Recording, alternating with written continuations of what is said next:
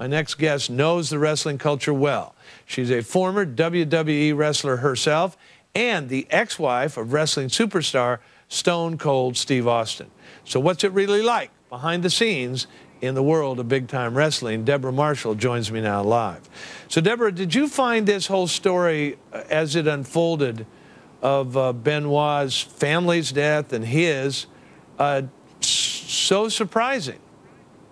Well, first of all, knowing Chris all the years I've known him, I was shocked about that because he was always so nice.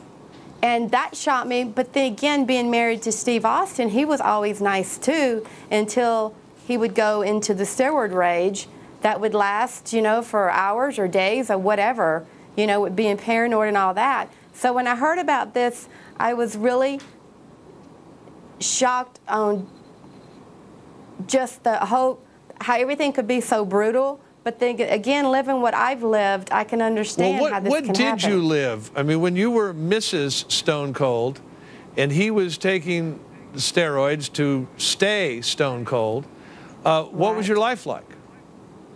Oh my gosh, it was hills and valleys. Like one minute he would be moody and he'd be paranoid and he would have panic attacks. And then he would just, he got me to where I really couldn't talk to my family. I really couldn't talk to my friends. He was very controlling. And then these rages, if, if I did something to upset him, then the rage would come out. And usually it was mixed in with alcohol too. Debra, uh, in this uh, Benoit murder suicide, is there a WWE code of silence? Absolutely. And right now, I have spoken with some wrestling friends, and they're really mad at me for doing this.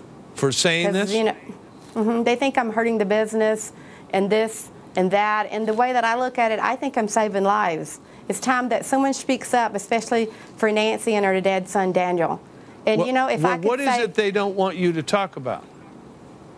it's just talking about the use of, especially with, I know with Steve, with using steroids and how, how there's drugs and there's steroids in this business. And they need to, I think Vince needs to definitely enforce the drug policy more than what he's doing.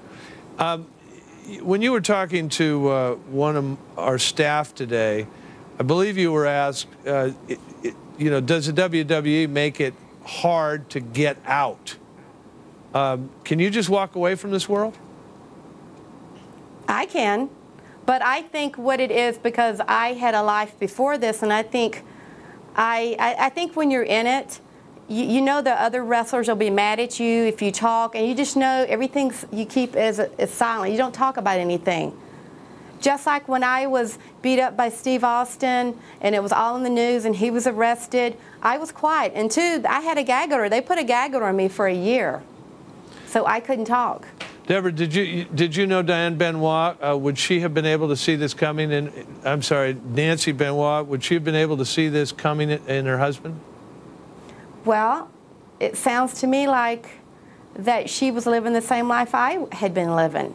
I mean, you, you, it looks perfect from the outside, and you're living with this guy who's got these ferocious tempers, and they hurt you. But then you you can't really tell anybody because you're in the wrestling world, and it's just not acceptable to go and say your husband's. It's just not acceptable, and you just keep thinking things are going to get better. But lucky for me, I'm still alive, and I got out. And I think with Nancy, I, I, I don't think she, if she knew she was going to die, I guarantee she would have tore that room up. Debra Marshall. Because Debra, she was a wrestler herself. Debra, thanks very much. Appreciate it.